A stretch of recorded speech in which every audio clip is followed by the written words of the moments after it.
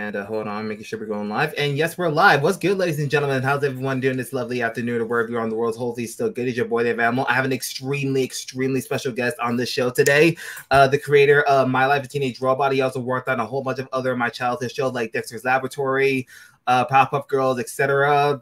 The wonderful Rob Rob Renzetti. So thank you so Hello. much for yes. Ivan. Oh, look Uh, at that! It even says creator of my my life. Oh, you, you yeah, you missed an A there, but that's good. Creator of Malater, as I Malather.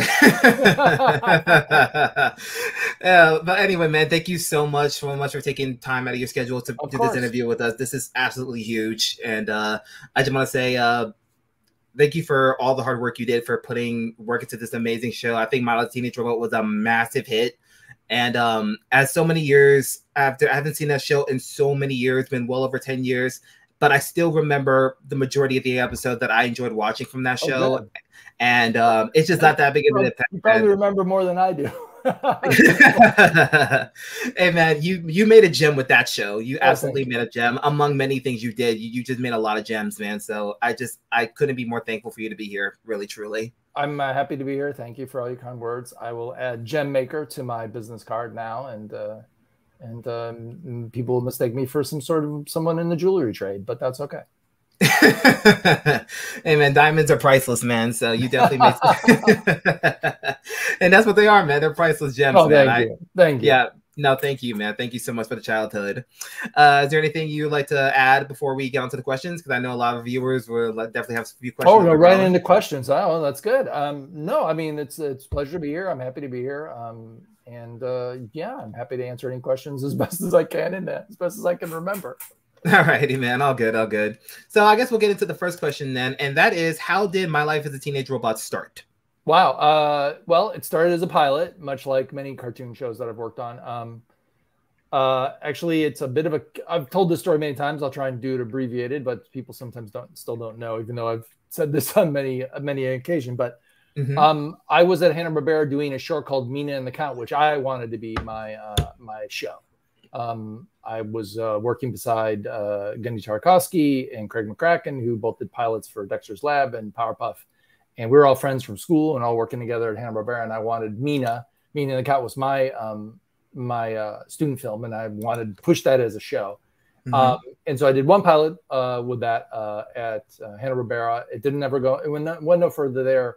Um, but uh, Fred Seibert, who was the president of Hanna Barbera at the time, um, moved over to Nickelodeon, and he had another pilots program he was doing there. And he said, "Hey, I want to bring you over. I want to do more with Mina. I think Mina should be a full on show, which was my dream." So I Mhm. moved over to Nickelodeon. Um, I did some other pilots first for legal reasons because it had to be untangled from Hanna Barbera. And then when Mina became available, I was slated to do six more uh, shorts with Mina as part of the Oh Yeah Cartoons program at Nickelodeon. Mhm. Uh, I ended up doing five of them, and uh, Nickelodeon didn't want the, the sixth. Uh, they did not like the show uh, or the pilot or the stories I was doing with the little girl and the vampire. They were creeped out by their relationship, even though it was completely innocent. They thought it was weird that uh, little girl and a, a vampire were hanging out together. So, anyways, um, I thought Mhm. Fred would give that slot away. He didn't. He gave it to me. I pitched him a few ideas. One of them turned into the idea for a teenage robot, and I did the pilot for Teenage Robot in that first that sixth slot that I was given. It was the last thing I did as part of Oh Yeah Cartoons, and um, it didn't get picked up for three years. But I did the pilot. I left Nickelodeon. I went and worked on um, Family Guy briefly. I did a couple, Really? a couple episodes of Family Guy, and then I headed back to what was now Cartoon Network and Okay. worked with Genndy and Craig again on the end of Powerpuff and the start of Samurai Jack. And then three years later, my show got picked up, and I went back to Nickelodeon to work on it. Awesome. And I That's didn't pitch. I didn't pitch anything. I never pitched it to any execs. I wrote a very short Bible explaining what I thought the show could be like, Mhm. and uh, then they just they picked it up. Uh, there was stuff happening behind the scenes I was unaware of, but I was called by Fred Seibert again, and he said, "I think they're going to pick up your show." And I said, "I I doubt that." he, turned out, he turned out to be right. I turned out to be wrong, and uh, yeah, and we went, I went back and started up the show. That's awesome. That's awesome. So they really like enjoyed the idea of like a, a robot trying to fit in with humans and have what's essentially like a, a Green Lantern where she can have anything at her disposal just from yeah, her her whatever. transforming ability gives her pretty much anything uh, that we Yeah. need her to do. Okay, I've always found that the most fascinating aspect of the show. But yeah, thank you.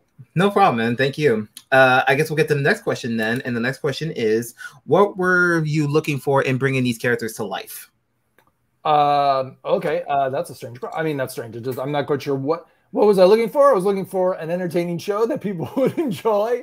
Um, uh, you know, I I pitched a lot of ideas at that point when I came up with Teenage Robot. I'd done the Minas. I I, I um, as I already mentioned, there were four other ideas that I did the first season of Oh Yeah. I did a pilot for four different ideas. They were very everything was different, very varied. I was very young and full of different ideas, and um, I really wanted to have a show. I wanted really wanted as a career goal to have my own show, and that was, you know, that was we were kind of the first uh, generation for that to kind of start to happen again after a long period where original shows weren't really given to artists to do, but um, uh, you know, John John Kricfalusi and and and the other initial Nicktoons, um, Doug and um, and Rugrats, they kind of were the uh, the um, the first vanguard of like creator driven show. And John Kricfalusi ran Stimpy more so than anything else because he was a very singular had a very singular vision. It was very much John's show. Mm-hmm. Um, so when Genndy got a show and Craig got a show, I thought I want to have my own show. So I had a bunch of ideas floating out there, but um, I mean, I'm glad it was Teenage Robot. I wish it had been Mina, but I was glad it was Teenage Robot because I think Teenage Robot of any of the ideas I came up with was the most open and the, had the most legs, had the most possibility to mm-hmm. expand and do do lots of things with it. Um, mm-hmm. And so, what I was looking for bringing the character's life was to make a fun show about a teenage girl that also happened to be a robot. I mean, we're exploring, you know, themes of what you know, themes of uh, your teenage years, what it means to be a teenager, what it means to um, be looking to your peers for acceptance and not necessarily finding it and like struggling with the idea that you have to be you have basically you have to be in love with yourself before anybody else is going to love you um, which for jenny was a huge struggle because she is so yeah. different than everybody around her. She wanted to be like everybody else.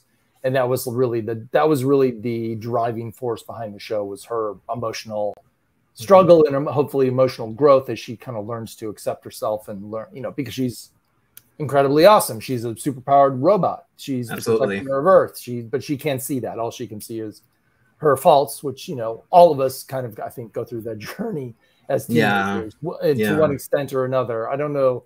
You know, even those like confident bullies, maybe they were, maybe they were super confident in high school and they thought they were in love with themselves, and that's why the rest of their life was a disappointment. But I feel like even the most outwardly confident teenager is still struggling with those kind of issues. Um, and that was really yeah. kind of the focus of the show um, from a from a from an emotional and, and theme standpoint. I okay, hope that, I hope that answers the question. I, no, that was a beautiful answer, absolutely. And now that you really mentioned it, I think you're 100 percent right. Now that I'm really thinking about it, it really was a journey of like self acceptance, like self like self worth, and kind of discovering yourself. Even though you're like, it's a it's a prime example of you're so different, but you can still fit in. And I take that as I think Jenny was probably the most human being at a pretty much all the humans in the show ironically like she was just she had a lot of personality for a robot and i think that's what a lot of people really took away from it is like mm-hmm. so much personality like she acts how a teenager should act she had the responsibility but yet she's still trying to find her place in the world after being a robot that's why she tries to like an episode where she had those giant ears with the earrings, mm-hmm. uh, trying to make her make her exoskeleton so, so she can become a human. It was just like she doesn't need to be all that, just be herself. And I think that's absolutely beautiful message. So I think that's that's what I think. Hopefully, a lot of people took away from that.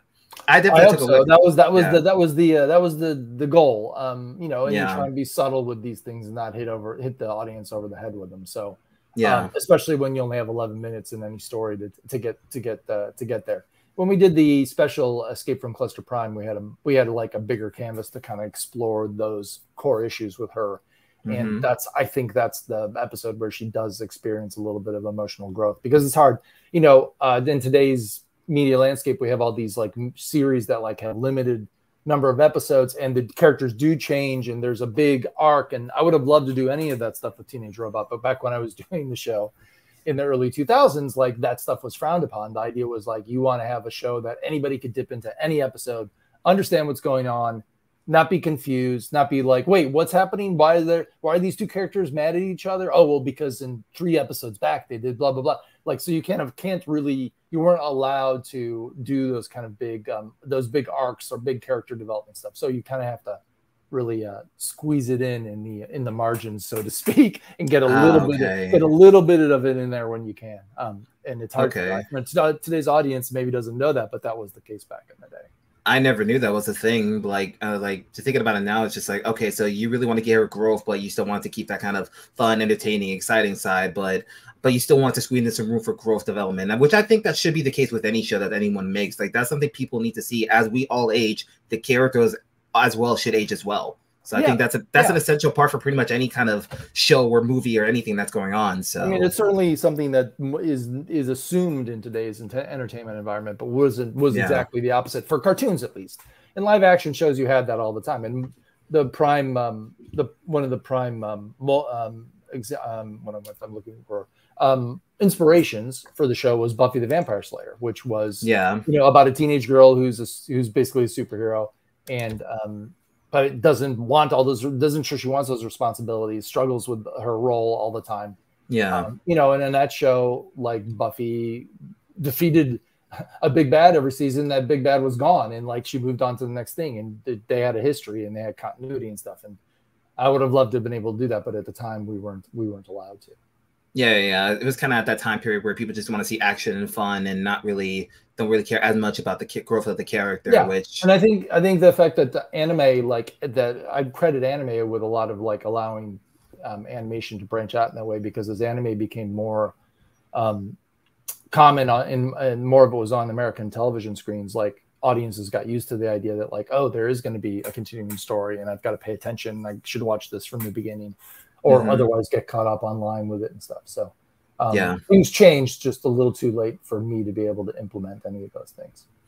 yeah, yeah, I understand that, but it, for for for what for what it is, it's still it's still great. So I just I would love to Thank have seen a more. Thank, thank you so much. But yeah, I would love to have seen a lot more of that growth, especially now. Like you know, I think that's something a lot of people should just take away from that. So.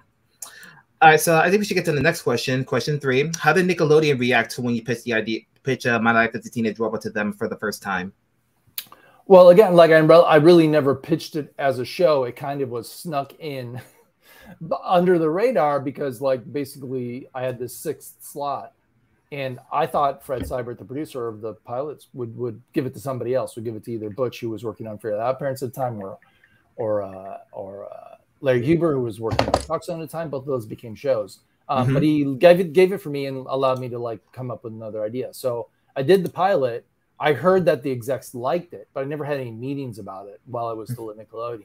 Mhm. And in fact, Fred Seibert said, like, if you want to go somewhere else, you know, they may pick this up as a show. They may pick it up, um, you know, two months from now, maybe years before they pick it up as a show. If you want to go somewhere else, go somewhere else. If they want to do your show, they will get you back at Nickelodeon. You will come back here and work uh, uh, on your show when they pick it up. And he was right because it took them close to three, over three years to pick it up as a show. So yeah, um, I never pitched it. I had one. There was one exec that I had um, that I had some interaction with, who was a champion of the show.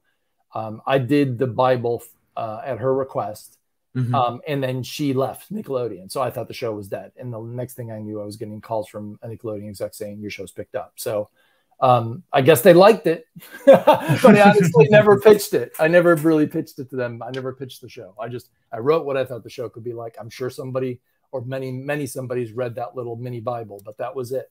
yeah. That was it. Okay, that's fascinating. All right, uh, this one's kind of a lengthy question, so I apologize. Uh, Janet, uh, Janet, uh, Kawhi? Kawhi, I apologize. I'm bad with names. So my apologies. Provided the voice of Jenny Wakeman at J9 and brought a lot of charm to the character. What made her stand out during the audition process, and what was it like working with her? I, I really don't remember the audition process uh, for Janice. It was mostly just the voice quality that she had. I thought it was um, it was a different. Um, she was she wasn't a teenager teenager, when we when we cast her, but she was young, and Mhm. it, she had a very young sounding voice, and she didn't have to stretch in any way to change her voice. Um, like a lot of um, a lot of the other auditions, I think really were putting on a voice, and this was just her natural voice that she was using and I thought that was an advantage because for the main character, I wanted her to sound natural, and um, Mhm. um, so that was really what made her stand out. And she was a joy to work with. I loved working with her. She was sweet. Um, I can be very demanding when it comes to a record session because I hear the lines in my head in a certain way, and I want to make sure that they're delivered that way. Um, Mhm. and so like I would really put her through paces and uh, and and make her um, make her do it over and over again sometimes. Um, but like I'm I'm very lucky that I did cast her because uh, we ended up doing an episode where um, Jenny loses her language disc and she can only speak Japanese, and Janice was yeah. fluent in Japanese. I mean, we kind of designed the episode around the fact that she was fluent in Japanese. So. Oh, so um, she so that was the same voice actor. Uh, Janet, yeah, yeah, no, that was Janice. Okay, she, she, did all the Japanese, and she um, and she translated most of the stuff. Like we had someone come in and translate the dialogue that we wanted to do, and then during the session, Janice, Janice was like, "That's not quite right. You would probably say it like this," and she adjusted the lines based on her own knowledge of Japanese and how like someone would actually in conversation say what we were we wanted her to say. Um, mm-hmm. So it was great. It was a great experience um, having her do that, and uh, and um, yeah, I loved working with her. She was she was a lot. She was very sweet, very sweet young woman, and uh, and very um, game to um, allow me to torture her with many, many, many. but it sounded like man, she she exceeded expectations because I think she did a fantastic job. So thank you. Yeah, I was very happy. I was very uh, happy with her. Um, you know, uh, the the hardest thing, and this is hard for every hard for everybody um, who's a voice actor, is to laugh naturally. Um, so she really sometimes struggled with laughing, but I I know the fans really love her laugh. So I think in the end it worked out. But like I really yeah. Like she'd laugh and it would be very demure and very cute, which worked a lot of the time. But sometimes I really needed her to like do a belly laugh or guffaw or like do a huge laugh. Yeah. You know, especially I'm thinking of the episode where she has some she gets feeling and she's ticklish all of a sudden. Uh, I yeah. really had to push her because there was so much laughter in that episode. And I kept like I kept like pushing her to laugh harder and harder and harder. um, so again, I did torture her occasionally, but I think it worked. That's funny. you did something right though, because that that was a great performance. But yeah, so I guess my question is, was that the case with the the person, the people who played Tucker and uh, Brad as well? Like, were they also like young adults or? Uh, well, they weren't as young as they appeared. Yeah, I mean, um, they were both they were both in their 20s i think um, but tuck is played by an adult woman okay as, as he was in the pilot but a different adult woman um, uh, and um, both both her and brad who was a young man unlike in the pilot in the in the pilot the brad was played by a woman which is common like it's common for teen boys to be played by adult women putting on a voice yeah. but again i wanted to try and get a voice that was gonna uh, was gonna work um, and um, the voice of the voice of Brad like had to tweak his voice just a little. He just made it a little bit higher for it to be teenage sounding. So again, I really, I really, and I really pushed to get um, get a, a man to play Brad um, because mm-hmm. he's the only, he's the only man in the in the um, in the core cast of four. Um, I mean, Sheldon's played by a man as well. Um, but the mm-hmm. like the core cast that came from the pilot, he was the only one that was going to be actually voiced by a man, and just gave us flexibility having a man in the booth because he could do other voices that um, you know, necess- not necess- a woman couldn't necessarily tackle when we had like secondary voices. Um, okay. We could have him do those. Okay, interesting. Uh, so we go into the next question, which I believe you probably have already answered, but I'll, I'll just ask again. Uh, how did the voice actors come up with the voices of their characters? I mean, that's something that usually they come up with in the audition. Um, is they they they come in and try some things, and some some voice actors who are very versatile come in and do like two or three different um, versions of of uh, of a character uh, Candy Milo, who does the voice of Dr. Wakeman, she is an industry veteran and was back then as well, and she's very very versatile. So she she did a few different things, but what she came, the one that she was her favorite ended up being my favorite version of, Wake, of Wakeman as well, and um, um mm-hmm. um, it was very different than anything else anybody had ever done, and that was the reason why I cast her because she did something so distinctive and something I hadn't really heard before. Um, mm-hmm. So yeah, they come, they do that. They how they come up with it, I don't know. You have to ask a voice actor. I don't know. that's fair. That's fair. Oh yeah, so like uh, I was actually curious, like what I, never knew this at the time, but like I guess you had it accented a voice, uh, the mother Nora Wakeman. I just was curious, like what accent was that? Like, is that something you know, or? I mean, uh, she always told me that it was based on um, a character from. Um, it was kind of a combination of um, something else and, and a character from um, uh, the Beverly Hillbillies, which is a super old sitcom. Uh, there's a oh. character called Mrs. Drysdale on that show. I think I'm mm-hmm. or no Mrs. Mr. I mean, I think I'm getting the character name wrong, but she's the um. I should know. I wouldn't have.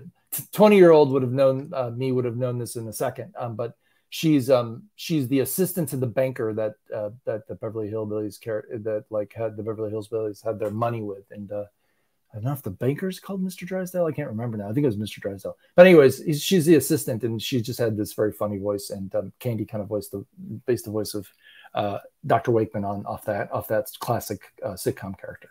Ah, okay, okay, that's funny. I haven't watched that sitcom in a long time, but now that it, uh, neither have I, it. but it was on all the time in my childhood. So fair enough. I'm trying to think, it's kill me that I can't remember the character's name, but maybe it's all good. Okay, so I guess the next question would be: Who is your favorite uh, boy? Who is your favorite character? If it's Jenny, who's your close second? Yeah, I mean, uh, it's hard. I, I just this this this um this uh, question's always difficult because uh, like a, a parent, you don't want to say you love one child uh, more than the other. But um, yeah, I mean, it's probably Jenny. But who's my close? I don't know if there's a close second. Um, Tuck was the easiest to write for. Um, mm-hmm. Tuck was always a goofball and always um, uh, it could be a jerk. Uh, he was always meant to be the comedy relief character, so it was very easy to write for him. I, I do like Tuck a lot.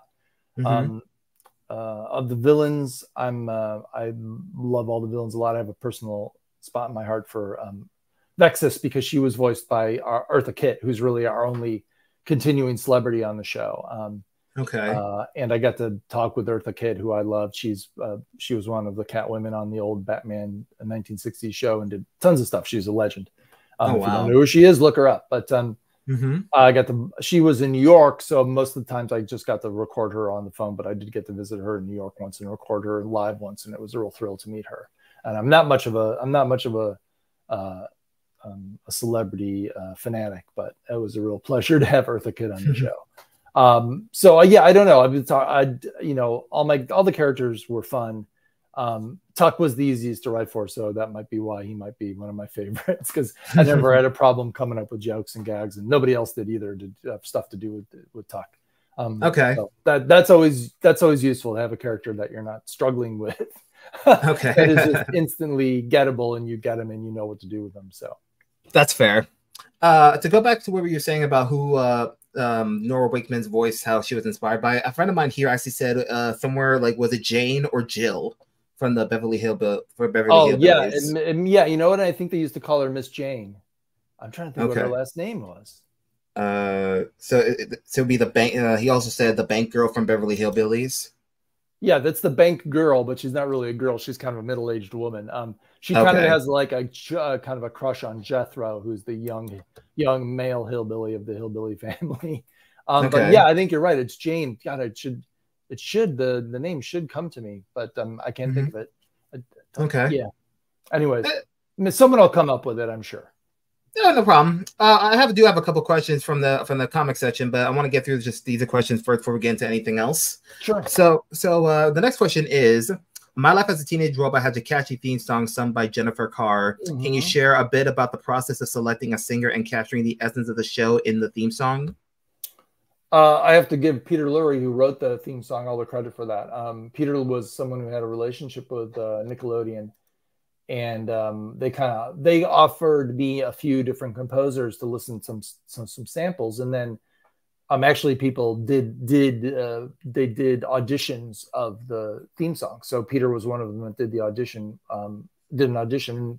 And he got the theme song based off the audition he did. And he was the one who hired jennifer carr to do the do do the um, do the song to do the singing. And he was again he was in new york uh, nickelodeon had a lot of roots in new york um, mm-hmm. and so i just always i dealt with him uh, remotely. I never met him but um, we actually went through three versions of the song. The first version was much much much poppier and mm-hmm. nickelodeon was worried about it. They thought it wouldn't attract it wouldn't be attractive to boys. It sounded it sounded too bubblegum and too soft so we ended up making it harder and harder so that we that's why we had the big guitar guitar riff uh, featured in the beginning of it so that it would be like, oh, it's okay, boys, there's guitar.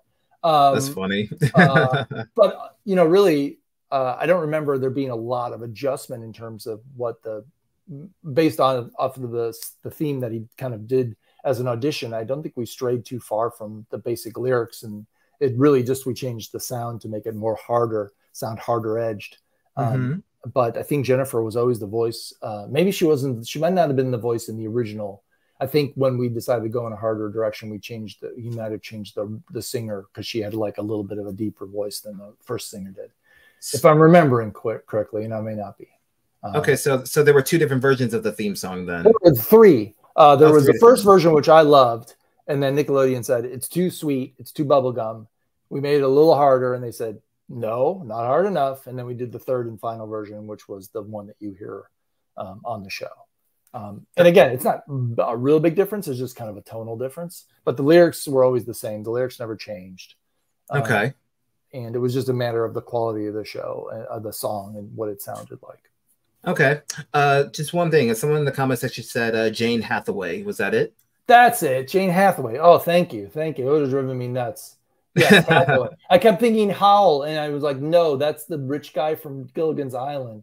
These are, these yeah. are things that mean nothing. Well, if you know, if you understand them, maybe the other younger people do too. But these are when I grew up, you must understand TV was a wasteland compared to today. we That's had, true. we had about 11 to 13 channels. Uh, and, you know, you were stuck with old sitcoms from the 60s and 70s, which I loved. Yeah. Like, you know, so Gilligan's Island and, and, uh, and Bill, Beverly Hillbillies and uh, I Dream of Jeannie. These are the shows that I watched on a daily basis. And it was Jane Hathaway. Yes. Thank you. Thank you, whoever, whoever came up with that. Okay. There's also another question here from a good buddy of mine. I know we said this. Uh, I was going to read the comment section after I go through initial thing, but since we're kind of on this topic, I'll just get this sure. one out the way, and I will get to the rest of them later. Okay. Um, a buddy, buddy of mine says, "Is there another? Is there other versions available on Blu-ray or DVD? Other versions of the show? Uh, I think other versions of the theme songs. Oh, Pro- I don't yeah. think so. No, I don't think they've ever been released. They've never been released. Okay. No, I don't think so. I mean, there's a the show is a niche show. You know, it wasn't a huge hit when it came out. So like uh, Nickelodeon doesn't really doesn't really promote it or mar- market it in any way. so the idea that like alternate versions of the theme song would be out there, it's a bit of a stretch. No, I'm sorry. Um, I don't even know if I have them on.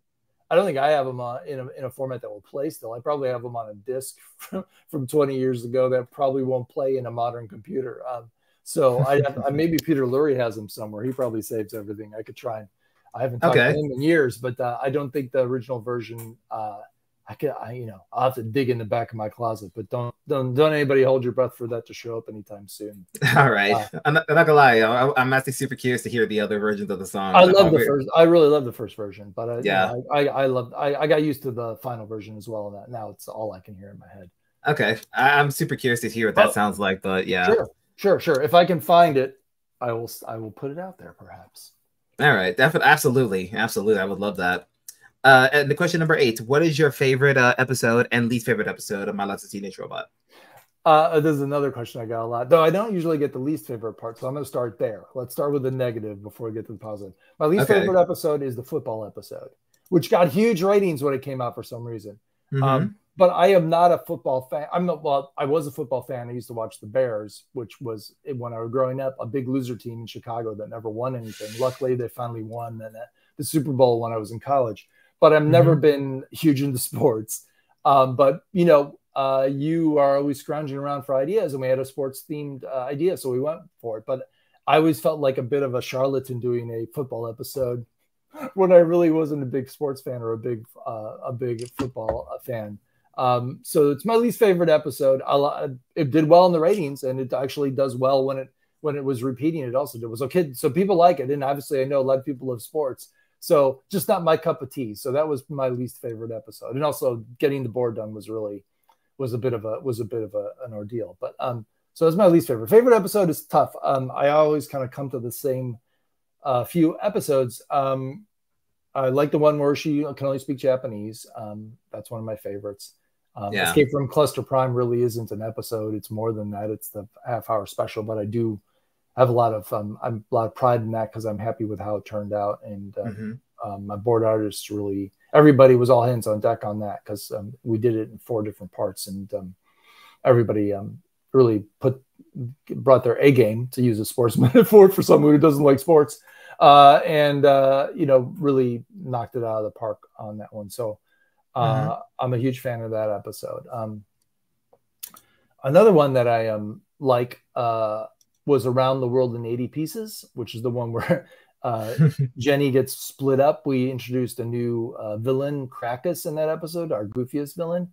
Um, mm-hmm. And actually, the original idea and the outline was written by my wife, Tracy Royce. And so, really, uh, yeah, she uh, she uh, a little bit of nepotism there, but well deserved nepotism. She came up with a good idea, and I had her write the outline. And mm-hmm. um, I believe uh, one of my favorite board artists, Bernie Peterson, did the board on that and did a great job. Really knocked it out of the park. Uh, I got to get a few of my um, a few um, of my own jokes in there, and people seem to like those jokes. Uh, so I enjoyed it. It was something we hadn't quite we you know we really emphasized um, the physical parts of Jenny's body in the first season. Then we kind of got away from that for a little bit, and then we yeah. kind of came back to it. And I kind of enjoyed her being kind of um, split all apart in that way. Um, the nice thing that happened, I think, as the series went on, and maybe you know people disagree, everybody will have their favorite season, but we kind of got used to the characters and were able to push them and make them all a little bit goofier and um, and and push their their personalities a little bit as we went along. Um, mm-hmm. And that's always fun when you kind of you kind of hone in on who the characters are and you can you feel um, relaxed enough to to um, kind of push them a little further. And it was fun. It was fun coming up with another member of um, of the cluster. Um, and and having uh, having him to uh, play around with because um, he was he was he was fun. I wish we'd been able to do more with Krackus, and we planned okay. to, but we didn't get we didn't get a fourth season, so we couldn't do anything more uh, more with any of the characters we wanted to do more things with. Okay. I will have to say, since we're on the subject, I would say one of my favorite episodes that kind of stand out was when um, Jenny was, uh, she wanted to know what it was like to have a dream. Her mother instilled a dream oh, yeah. in her head and she kind of abused it. She got water and then she just kind of saw everything in her dream as a monster. She just ran muck around the city. Yeah, that, that was, was a, that's a great yeah. one. And um, uh, I like that episode too. Um, uh, that I have to give kudos to my art director, Alex Kirwan, who I haven't mentioned yet, and I should because he's really the, he gets the lion's share of, um, uh, credit for how Teenage Robot looks. He is the he is the person who really um, solidified how it looked. And yeah, uh, in that episode, like we kind of decided we were going to pay homage to other artists that we liked, like Dr. Seuss and, and Winsor McCay, and the Dreams all kind of are in different different styles uh, to kind of pay homage to um, to uh, you know creators and stuff that we liked. That's awesome. I'm not gonna say. I was gonna to say it was a lot of a lot of uh, Dr. Seuss influence in that uh in that whole uh, cartoon. Oh, yeah, it's a really... complete Dr. Seuss ripoff. The Final Dream. It's meant it's meant to yeah. be a ripoff of all these different styles, but you know, like legal, legally legally okay to ripoff. okay, okay. I was actually gonna say now that I'm kind of thinking about so. it, I'm like. I, I was, now that, don't sue me. It's 20, 20 years later. It's too late. Yeah. That's your limitations. I was actually going to say now that you're thinking about it, because I did think it was Dr. Seuss at the time, but it never occurred to me. Wait, it's isn't this considered copyright? Cause I didn't know copyright at the time I was a kid, but you know, I mean, like, not, you know, if you're paying homage to something, you're you're yeah. allowed to you're allowed to um parody. Yeah, yeah, yeah. As long as you're not passing passing it off as either original or or as Dr. Seuss himself, like as if Dr. Seuss had created. We weren't. Uh, if Dr. Seuss was like that growing up, I probably would have loved it more because I'm not gonna lie, the whole Dr. Seuss thing where everybody was like turning into a monster and then she just destroying them in her dream. That that that episode stood out to me. I feel like I can remember like that's probably the ones I vividly remember the most, even after. Well, very visually striking, and there's lots of lot going on in that episode, which is a lot of fun for yeah. the audience, but also crazy for the production team because rather oh, than oh, design, rather than design one episode, you have to design five episodes in one. So yeah, we tried yeah. To, tried to not do that too often, but we did it. We did we did really run um, our design team ragged in most episodes. Very design show. It was worth it because that's probably one of the best episodes in my opinion. That oh, episode was that was so fun to watch. I guess another set of episodes were the Hear No Evil, See No Evil, and I think Feel No Evil. I forgot the mm-hmm. third one. Those were those are episodes that stood out to me too uh there were a whole bunch of episodes i can go through the list but yeah. Um the next question before i get to it i do want because this kind of relates to a question that someone else wrote in the chat a really good buddy of mine let me just get to his right now. He says right here hey rob thank you for everything. Would you consider a reboot or refresh taking on the show or is that door closed forever? Uh and that not, i'd say never say never because uh things always change and there's nothing in the works right now except and maybe people don't know this i am um, writing a new teenage robot story. Uh, really? Uh, starting. Oh, you didn't know? Okay. Well, Tuesday on no. Tuesday. Yes. On Tuesday, um, if you sign up, uh, go to robrenzetti.com mm-hmm. um, and sign up for my newsletter on Tuesday, August 1st, which is, which is actually 20 years to the day since it premiered originally. Um, the show premiered August 1st, 2003. August 1st, 2023. There mm-hmm. will be a new series. I mean, new series. I wish a new series, but no, a new story with Jenny and uh, some of the other characters from Teenage Robot. not, not everybody will appear, but I'm okay. like a. It's a, basically you'll get like a chapter uh, per week through the newsletter. Um, mm-hmm. It's going to be like serialized, like an old Charles Dickens story, where it appears like a chapter at a time. Okay. Um, the first uh, the first chapter's out on Tuesday, and um, and then about every once every week, I may skip a few weeks if I get behind. But uh, right now, I've got um, I've got uh, four chapters uh, written already, um, and you'll get a chapter every week. It's not a comic; it's a prose story, but Alex Kirwan is going to be doing some illustrations for it. So the first chapter has a beautiful, beautiful piece of artwork done by Alex Kirwan. It's the first time he's drawn Jenny in, Nice. in a very, very long time. Uh, and so you will get like an illustrated uh, story um, uh, for Teenage Robot, and um, it's going to go on for a little while. It'll go on for a few months. Um, it's a, uh, I've the, the chapters have kind of expanded as I've gotten into writing it and started writing characters again, like things that I thought would be quicker are are turning into whole chapters because of uh, you know I'm having Sheldon and Brad speak for the first time, and they haven't spoken in 20 years, or you know a little less than that, 16 years. Um, so uh, it's been fun, and uh, it'll go live uh, this Tuesday. So you can you can read a new story of the teenage robot. Um, you know, if there were ever a season four, maybe this would be an episode or two on season four. Um, but it's a different format. It's a different thing, but it is uh, Okay. hopefully hopefully it feels uh, consistent with the show that everybody remembers. Um, Mm-hmm. and uh, hopefully everybody enjoys it. But uh, I've got other ideas for other stories. Right now, I'm just going to do this one. Um, Okay. And uh, you know, you just have to sign up for my newsletter, and you, you can you can you can read it for yourself. Oh, I, I, I'm already on top of it right now. I already have my link open, so be sure to. As we No, speak. as we speak, I'm doing it right now because I really want to see that. I'll put my email and everything later, but I'm I'm psyched for that. I think everyone else in the chat is excited too. Hey guys, uh, thank you so much for posting the link in the in the in the in the in the chat below. Everybody, if you really Yeah, want to see, you. please please sign up to his newsletter. If you guys really want to catch up on the the, the series coming up, please go do it right now as we speak. And uh, that's something I'm going to do as soon as we're finished here. I- I'm super excited. I really can't wait to see what you got going on, man. I'm I'm, I'm hyped. Like I'm I have a big smile on my face. Oh, Like, good. I'm, I'm glad excited. This a surprise for you. I, I, It is. I'm It's hard because you know I, you you talk about it on social media and you feel like you're really um you're really hectoring people because you keep bringing it up. But I know people don't see that stuff because there's so much out there, um, you know, to to see on a daily basis. So I'm happy to Yeah. yet again. But yeah, I'll keep uh, I'll keep promoting it. But yeah, it'll it'll it'll be you can start with chapter one on uh, Tuesday. Absolutely. Like I think we're all will. So I'm super excited for that. Thank you so much for sharing that with us. And guys, Of I hope you're all excited. And I hope I'm sure the chat is all excited too. Like I said, links in the links in the links in the chat down below. Click on it, sign up to his newsletter, and uh and just wait till then, man. I just that's all we can say. I'm super Only played a excited. Exactly, exactly. I'm excited for that. All right, so we'll get to the tenth question since we pretty much answered number nine, and that is what's some things what's something you would do differently if you could go back and rework uh, My Life as a Teenage Robot? Uh, well, I, I've already said, it, but I'll say it again. I basically would give. Uh, I'd have like continuity. To have longer stories. Um, you know, uh, you know, season long arcs similar to what Buffy did. Um, you know, big season long stories that we then wrap up. Um, you know, I'd have more character development. I have the characters change rather than kind of resetting every every episode. Um, I do what is really um, a more modern show. Um, it is something I would have loved to have done back in the day, but like I said, when I was doing the show, it was not allowed basically. Um, so that was how how I would change it. Um, you know, the Okay. characters I think wouldn't necessarily change. I wouldn't if I were to reboot it, I wouldn't make it like it's 20 years later and you know Brad's got a job as a middle manager at a local, you know, uh, big box electronics store. No, they're they would it, the story I'm telling in the in the newsletter and the stories I would tell would be like I'd pick up where the series left off. They'd be teenagers because we didn't really get to complete those story arcs that I you know wanted to do, the bigger stuff that I Mhm. wanted to do. Um, Mhm. So if it got picked up again, I think we'd just kind of um, start where we left off and, and and make it slightly different in terms of like doing bigger stories, doing longer stories, um, Mhm. doing things that don't um, wrap up after 11 minutes all the time. Yeah, yeah. I think nowadays, I think a lot of people would have loved to have seen like more of a. I think, like we talked about before, a lot of people are more akin to like having more of a story instead of just all action like we see in anime. Because anime nowadays is like very is very balanced with the action and then the Mhm. story and then the character development. I'm sure a lot of people would have loved to see that. That's not. To, I mean, the show was great as it is. I wouldn't change it for a thing. But I would say, Well, like, that's it good would- because you can't. Yes, Because it was created and it's already done, so you can't change exactly, exactly. No, I wouldn't change it either way. I would like.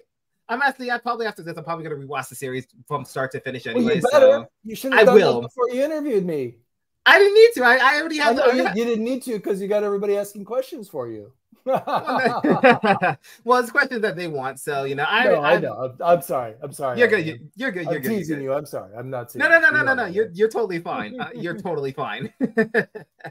and okay, so this is the last question we have here, and then we can move on to the chat. And this is. Uh, what's it like seeing fans that grew up with Teenage Robot still enjoy it as much, if not more than 20 years later? Well, I haven't been able to actually spy on anybody watching the show 20 years later, enjoying it, but I am glad that everybody remembers the show and, and seems to like it um, and, and seems to have affection for it. Of course, um, you know, like I said, it wasn't a big rating success when it came out, but um, the fact that it's remembered 20 years later is, uh, you know, that's very special to me. Um, mm-hmm. There's lots of shows that sink in obscurity, into obscurity, and uh, it was rather obscure to begin with. So it wasn't. I always assumed it would just mostly be forgotten. But um, you know, again, like I don't, I don't know how many people actually remember, but there's a, certainly a strong fan community, and and I love interacting with them on social media, and I love all the attention that everybody um, pays and all the fan art that everybody does. I look at fan art all the time. I never look at fan fiction. I should let everybody know that. Um, uh, because I thought someday I might re, re reintroduce the characters like I'm doing in the newsletter, and I didn't want to be accused of taking anybody's ideas. So if I have an idea that seems similar to yours, it's because we're think great minds think alike. And uh, but I've mm-hmm. never read any fan fiction, uh, but I do look at fan art all the time, and I love seeing all the fan art. Um, and there's some mm-hmm. amazing some amazing artists out there doing teenage robot stuff. Yeah, um, and uh, I really love seeing all that. It's great. Um, and I'm mostly I'm mostly I'm on Instagram every once in a while, but I'm mostly on Twitter. Um, I, I decided I would, you know, take my passage on the Titanic of social media as it's you know slowly sinks from the iceberg that is Elon Elon Musk. Um, but uh, I'm on there. I'm on there till the bitter end. I'm like a musician. That's funny. I'm a musician playing the violin on the deck, going down with the ship. I'll stay nearest, there as long stay there as long as I can. nearest to God, nearest to Gatudia, whatever the song. Yeah, was. exactly. Yeah. so you know, I can uh, you can find me there most days doing something, commenting on something. Absolutely, um, absolutely. So That's yeah, awesome. no, it's it's it's not anything I could have predicted that 20 years later I would still be talking about Teenage Robot and be, yeah, you know, talking to you or talking to anybody else about it. Honestly, Just, yeah. You know, um, so um, it's exciting for me. And uh, here's a little uh, visual thank you directly from Jenny. She says, hey. she says thank you as well. That's awesome. There you go. That is awesome. I gotta buy me one of those now. Well, you That's can't. Uh, this, good. this was made for the fan, this was made for the crew back in the, right after the show wrapped. And I, I, we were hoping Nickelodeon would produce them uh, commercially, but again, Nickelodeon is not producing. Maybe if somebody out there, if there's a toy maker out there, give me a call. We can yes, we can give him a call. I want, I want mass mass produced version of this stuff. Do um, it. do it right now. There it is. Do, exactly. Do it right now. Everybody in the chat, demand it right now. We want. We want Jenny. Plush, Any I kind mean, of merch. I do have this. I do have this. Is this is produced as well? That this is a this is a fan produced T-shirt I'm wearing. That's um, awesome. Uh, available on Threadless, I believe. Um, there's some a little a little bit of unofficial merch out there, but um, you know, I would love to. I would love to see anything commercially produced. So. That'd be awesome. That'd be awesome. Okay, so that is definitely all the questions I have currently. I guess we'll just look in the chat. And the first question I see here that came up was from the Detective 96. Was Jenny going to suffer the same fate as her sisters locked away in the basement once Nora made XJ10? Um, uh, probably not. That was kind of always a running gag and a joke. Um, the only thing that she was in the Christmas episode where she went renegade and uh, you know was basically gone for a year. You could see Wakeman was making plans for XJ10, um, but once uh, they were able to save Jenny and bring her back, uh, no. Uh, Jenny is the first successful of the XJ line. She would, she's not, uh, you know, for all of Wakeman's uh, criticisms of her, um, she considers Jenny to be the success and the first success. Um, mm-hmm. The other XJs were all failures. Um, they're too limited in their um, in their ability. They don't have the adaptability that she has, um, and uh, they're all kind of more mon- monomaniacal. That's why they all have kind of like one personality trait, like the seven dwarves. That was always their concept was that they, you know, there'd be a neat one and a talkative one and a, and a brute and a, a, baby and all these things. Um, they were they were all failures, but uh, Jenny was a success. So no, she was never meant to be mothballed uh, by by uh, by Nora. She would always have been um, always have been there. Okay. but the maybe also, maybe Nora would have made an XJ10 to help her. yeah. um, so that Jenny didn't always have to be the superhero. Maybe you know they would split the duties, and there would have been an interesting set of stories. There's certainly certainly talk and um, ideas percolating about how to use an XJ10 maybe in the future, or what that Mhm. would be, what that could be. But we never that we never got off the ground with any of that. But uh, Jenny would not have been retired. I hope that I hope that makes everybody feel a little bit better. They're wondering. I'm sure it's good. That's perfect, actually. I will say that's another one of my favorite episodes. The way she just went in with the uh with the with her sisters, essentially, like you're a Mhm. neat freak. You never shut up. That part had me dying, by the way, when I first saw it. She's telling her to shut up. Yeah, I love the, that X, as the. X, the XJs, the other XJs were actually the idea of my first story editor, Mike Bell, who came up with that concept, and uh, he actually Mm-hmm. did a did an early sketch of them all, um, which we which um, Alex and the other designers took uh, as inspiration, and and and we moved forward from there. So I have to credit Mike Bellwood coming up with that idea. It didn't literally didn't occur to me that there could be eight other XJs that came before XJ9, which is dumb because it seems very obvious.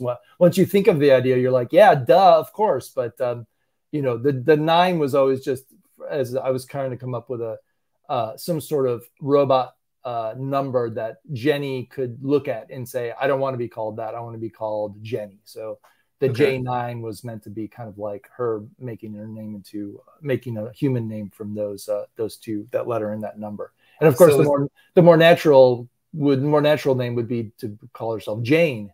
But um, the ironic thing about her name is jenny uh, even though it's a human name, it's also a it's also something that people call um, generators, like like electrical generators. They call them jennies. So the ironic the ironic point was she's trying to make herself more human, but she's actually just called herself another machine name. That's Um, wow. Okay, I never. That wow, I don't think a lot of people knew about that. That it was another robot, but she chose an, that was another name, but it really is just another appliance. That's actually pretty funny now that I'm thinking about it. I had a, another question related to that, and I just and my brain just farted, so I apologize for that. But um, okay, so okay, I remember now. So you need to open the door. Is it smart? Is it smelling there now with your brain having farted? yeah, yeah, yeah. But I think they're starting to clear out now because I finally remember. Okay. oh, you did. Okay, good. Yes. Uh, so, okay, so XJ now was really just supposed to be a number. It wasn't meant to be like a, a final product for like the other, like XJ7, XJ8, essentially. Yeah, I mean, I. I, it was meant to mean something like I don't know, extreme justice. I don't know. What do you want? you know, again, I just kind of came up with it and didn't really think too deeply about Okay. what, what what it might be, what the Okay. import of it might be, which is you know, which is great. That's why you hire other people to work on a show with you because they will bring ideas to the table that you don't have yourself. So when Yeah. I came up with that, I was like, this is great. This is amazing. This is like opens up this Mhm. whole this whole other avenue of stories and a whole new set of characters. Um, uh, and uh, I loved it. I didn't want to overdo it. I didn't want to do overdo it with the other XJs. I didn't want them to all of a sudden be like, and now we're all activated, and now we're a team because that wasn't what the show was supposed to be about. So we brought them back Okay. sparingly, but um, I loved always having them as part of the as part of the ongoing cast. It was great that uh, that we had that, and that was due to Mike Bell. So thank you. Okay. I was actually gonna say like because I it's been a while because there's certain remember aspects of the show I remember, but I don't like I, re- I was actually gonna ask. So did they ever bring back the other XJs? Yeah, they were in they were in um, two or three other episodes. Um, okay. they're actually in the final episode of the show. They're in the, the where they um they all go berserk. Um, they Mhm. all um, they all go berserk and attack Jenny and and try and attack Wakeman. And um, Jenny has to fight her sisters, and um, and she's uh, able to conquer them. They also all um, they also um, came back in. Um, well, that's the original one. They came back a couple. They came back at least two more times. But yeah, we did kind of use them very sparingly, but they did come back. Okay. All right. That's interesting. Okay. So now we got a question from Plants uh one ten thousand. Yeah, ten thousand. And he says, Okay, Rob, question time. What was the idea behind the villains dynamic of Vexus, Gintis, uh Krackus? They always seem pretty incompetent together. Haha. Yeah, no, it's uh yeah. Well, you know, Vexus was Vexus. I wanted um when I was conceiving of the show and kind of working it out, and when I had the when I had the um, green light to do a series, but I didn't. We weren't in production yet. I had a little bit of development time, and I knew that I wanted two things for Jenny. I wanted two kinds of villains. One was um, the villains that would um, kind of um, pester her in her social life and her teenage life, which is more important to her actually, and that's where Brit and Tiff came from. Um, they were meant to be the supervillains in the social scene of her teenage high school life.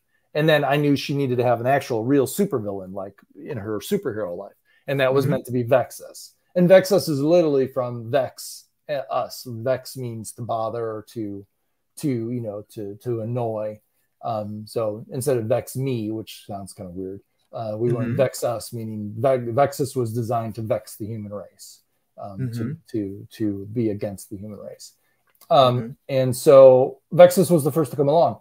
Um, uh, actually, the first to come along was this uh, this um, generic cluster uh, robot that came down in the um, Snowford episode, and um, and bothered Jenny, Brad, and Tuck when they were trying to have this epic snowball fight. Um, but he was the herald of things to come, and Vexus was always planned to show up uh, after after him. Um, but the idea was that there's a whole there's a whole race of these um, these robots, and so there had to be other lieutenants and other people in the command structure. So mm-hmm. Smytus was the next one to show up, um, and then Krackus came later. And the idea behind them, when they're all together being goofy, was just like, well, it's a comedy show, and like Vexus Vexus alone is more is uh, you know is basically more effective than when she has her lieutenants with her because um, they're not really great. Um, so you know, the idea that they're a kind of goofy and, and goofy superhero super villains is, you know, it was a comedy show, so we we tended to go for the comedy. Um, but Vexus is maybe the more serious of the three of them, and when she has a serious, you know, when she's uh, left alone, she's a little bit more, uh, more, more potent than when she has Smytus and Krackus with her. They kind of slow her down.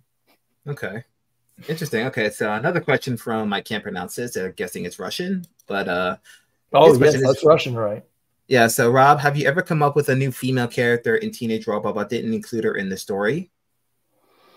Uh, yeah, actually, um, there was an um, again when we were in development, there was a character called the Polter the Poltergeist, uh, which was going to be a um, a dead uh, teenage ghost that had similar issues to Jenny. Um, she was, but she was like really old. She was like from a century or earlier. So she was a teenager who wanted to hang out with other teenagers when Jenny is being kind of um, rejected by all her contemporary teenagers, this teenage ghost actually wants to hang out with her, but Jenny can't stand her because it's like hanging out with a teenager is also your grandma because she's like from 100 years ago and she doesn't she doesn't like the same things Jenny likes. She doesn't have the same uh, teen talk. She doesn't use the same slang. She just seems like an old person, but the ghost thing sort of still thinks of herself as a teenager.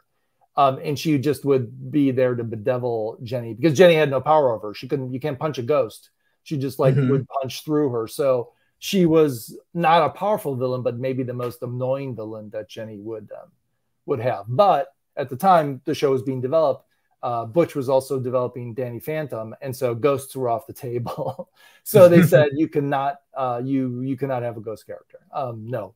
So uh, the poltergeist stayed on the drawing. The drawing. We actually had like uh, she was in the Bible at one point. She had a we had some rough design for her, but no, they had to they they they nixed that character. So that's mm-hmm. the that's the one character that I came up with that we could never use. Um, so so this was before or after uh, Danny Phantom came out. That it was before. That, I mean, I I don't know when Danny Phantom was on the air. I know she, Danny Phantom came out like premiered maybe a year or a year and a half after Teenage Robot came out. I don't remember the exact timing, but you know, uh, Butch had been doing Fairly Odd Parents for a few years, and they wanted to see what other ideas he had. So he was developing Danny Phantom at the time. So that's why we didn't. Uh, that was in the works. It wasn't on the air yet, but they're like, no, we you, you ghosts are uh, are uh, Butch's domain. You don't get to have ghosts.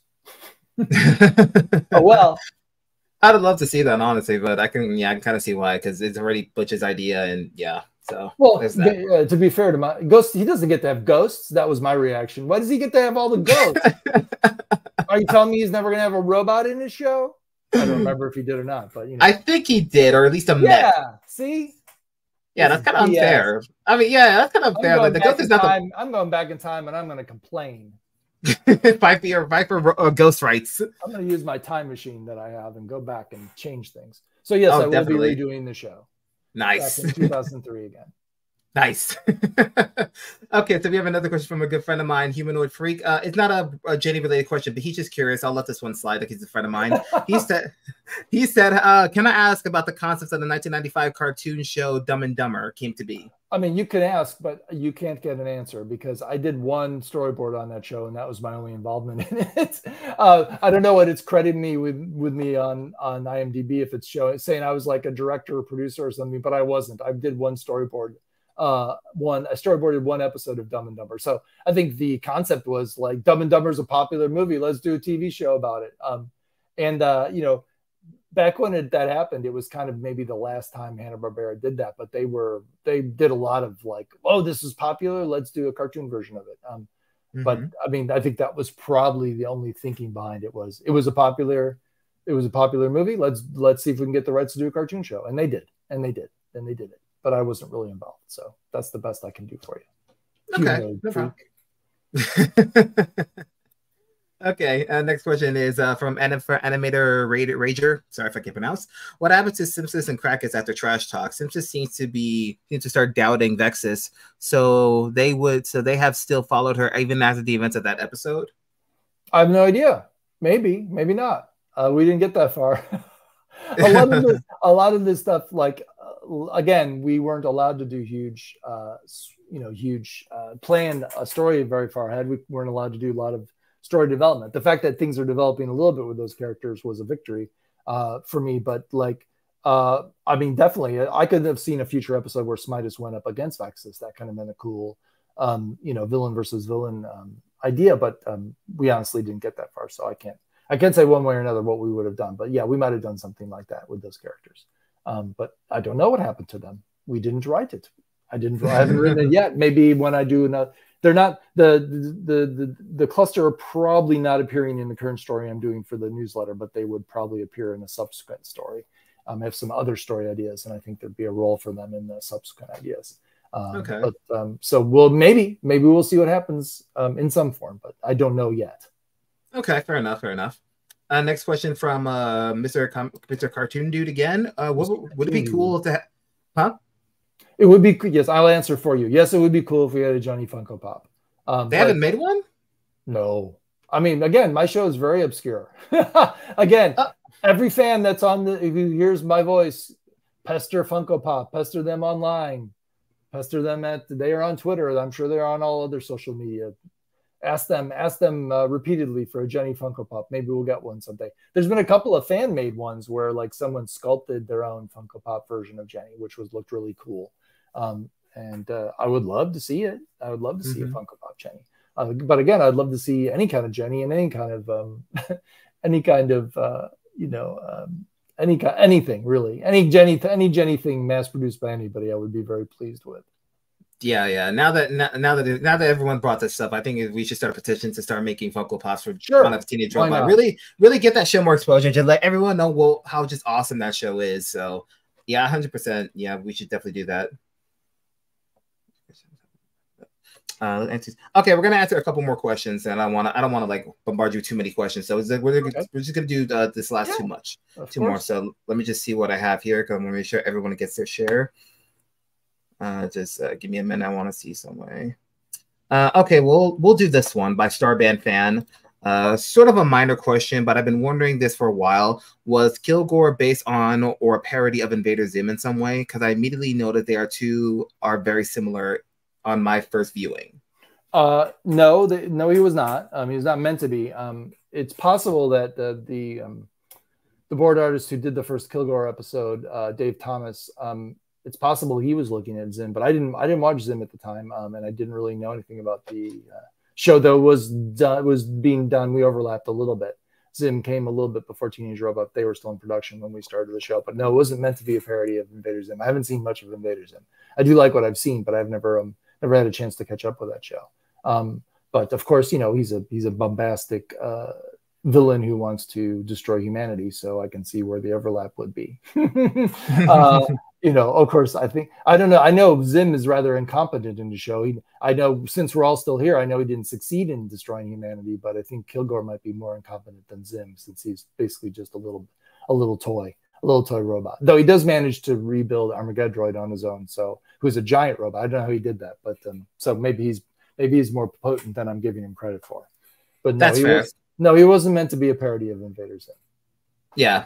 Okay, this is gonna be the very last question. It's a question I've actually been curious about, and this is from Humanoid Freak again. So I apologize, if everybody. Let you know. Oh my god, Humanoid Freak, you're getting too much attention. No, go ahead. no, but this is the question I personally wanted to know myself. So you okay, guys have any other questions? Well, I, okay. Yeah, yeah, I greatly apologize if I didn't get to your question that way, but I this has to be the last one. Anybody can know, ask me a question. Uh, tag me on Twitter and ask me a question, and I may answer it if I see your if I see it. Um, I'm I'm uh, I'm I try to be good about answering questions that pop up there. You can okay. also ask me questions through my website. You can contact me um, through my website at robrenzetti.com. But if you right. do, you better send up for the newsletter. You better, everybody, because no, okay. I, I will, and you better do too. I'm you can, you can always send ask me a question without signing up. I, I will not know whether you have or not. All right, awesome. Okay, this is the very last question, and that is for Dexter's lab. Why is Dexter the only one with an accent while his family does not? Uh, because he's made because he's put it on. because he, Dexter thinks that mad he thinks that all famous scientists have accents and therefore he should have an accent. He looks at Einstein and other, you know, Eastern European scientists and he thinks like, well, they have accents. If I want to be legitimate and be thought of among these greats, I need to have an accent. So he has put on that accent. And I don't know that he can speak without it now. I think he's adopted it for so long that I think he doesn't know how to um, speak normally anymore. I, I don't uh, know. Genndy would Genndy could tell you exactly for how long he's been putting on that accent. But that is the answer that I've always heard from Genndy was that he has put on the accent. So it was never his accent, like, and I, now you... it's not like he's a changeling or that he was with an Eastern European family and then like his family adopted him from Eastern Europe. As far as I know, I don't think that's Dexter's origin. You'd have to ask Genndy to be um, to be more more uh, sure of the answer, but as a as a as a, a, long personal friend of Genndy's and as someone who worked on the show from the very beginning, I believe that Dexter is simply putting on that accent, but that he's put it on for so long that he doesn't know how to speak straight English anymore. Um, so he's convinced himself that that accent that accent is legit. That's hilarious because now that I'm thinking about it, it's like, why didn't his family ever question why he's talking like that? Because I've always I mean, assumed that maybe he's from. I mean, his parents don't question anything, right? I mean, there is a giant. That's true. They're you know their, underneath their um their house. They're, I mean, they're oblivious as as all as all get out, but yes. no, my God, I'm never gonna unsee this now. That accent's not real. You're here first. Yes. and maybe it's wrong. I don't know. That's my answer, though. You want an answer? I'm giving you an answer. It, no, I accept it. That's that's perfect for me, and I hope that's a good answer for you too, humanoid. All right, everybody, that is the final question. I'm super sorry for anyone who I didn't get to answer to, but like I said, you still have a chance to answer any questions that you have for Mr. Rob here. Please go to his uh, Twitter. Please go to his website. Please follow his uh, news um, newsletter to see more information on the Teenage Robot series. And uh, yeah, please go support him because this guy made. I, I could say so many great things about him, but you guys already know how, how much I'm gushing. But no, wait, go ahead, and say it. No, you're an amazing guy. Like, everybody, please follow keep him. Keep, keep it, keep it going. Keep saying good things. Just I will, I will, but I, I don't want to take too much time. But basically, guys, please go support him. Yeah, so please go support him. Please follow his newsletter. Please answer ask any questions. He will answer them as often as he can. And Mr. Rob, thank you so much once again for everything you've done for all our childhoods, for answering all our questions, and for taking the time out of your schedule to do this interview with us. Oh, it's well, been a colossal honor. Thank it you. truly has been. been. Uh, I had a good time. I will. I will say this: I did not invent your childhood. I, you don't have to thank me for your childhood. I'm happy that I was there, but you invented your own childhood. You and your friends and your family. I'm happy to have been part of the um, pop culture landscape that was there for you. But you, you, you did. you, you, uh, you, you invented your own childhood. So thank thank yourself for inventing your childhood. That's I'm fair. That's fair. I'm glad that all the children out there watched my show, though some of them at least. And I'm glad as adults are still watching it. So absolutely, absolutely. So thank you very much. Absolutely. All right, guys, this is going to be the end of the stream. Do you guys have anything you'd like to, uh, any other questions? Like I said, follow him, follow his Twitter. is going to be in the description down below. Follow our follow our post notifications so you don't miss what we do. Like, comment, share, subscribe to all our social media accounts, everybody. And we'll see you guys on, on the next interview. So much love, you guys, and you all stay awesome.